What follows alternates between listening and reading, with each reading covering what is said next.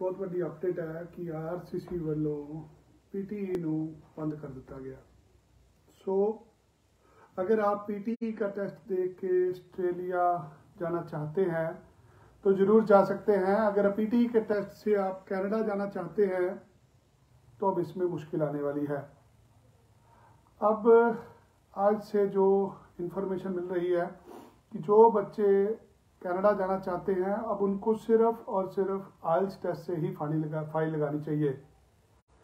जो recent update है, उसके accordingly RCC New Delhi office ने पीटीई को एज इंग्लिश टेस्ट का प्रूफ लेने से मना कर दिया है। सो अगर आप भी कनाडा जाना चाहते हैं तो मेक श्योर sure कि आपको आइल्स का पेपर ही देना है। There is only one test which is valid under S T S और जो भी आज दाखिले में प्रक्रिया चल रही है डोलिंगो टेस्ट पे भी दाखिला मिल जाता है। आपको और भी बहुत सारे टेस्टों में मिल जाता है। बट अगर आपको पॉजिटिव आउटकम लेना है अपनी स्टडी वीज़ा एप्लीकेशन में तो आपको आयल से ही जाना है। जो लोग पीटी कर रहे हैं, उनके लिए ऑस्ट्रेलिया एक बहुत अच्छी ऑप्शन है। अगर आप पीटी करके कनाडा जाना चाहते थे तो ये काम मुश्किल हो चुका है। जितनी जल्दी होता है आइल्स की तरफ़ ध्यान दीजिए। वो पीटी वाले बच्चे अब ऑस्ट्रेलिया जा सकते हैं।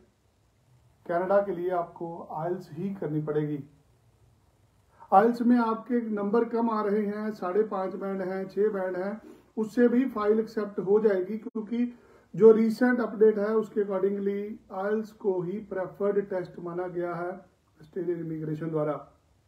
अगर आप भी चाहते हैं कि आपको पॉजिटिव आउटकम मिले तो आपको अब फ़ाइल पीटी से नहीं लगानी।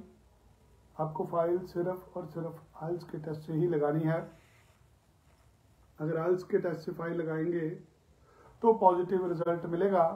पीटीई से आपका नुकसान होने का बहुत बड़ा अनुमान है।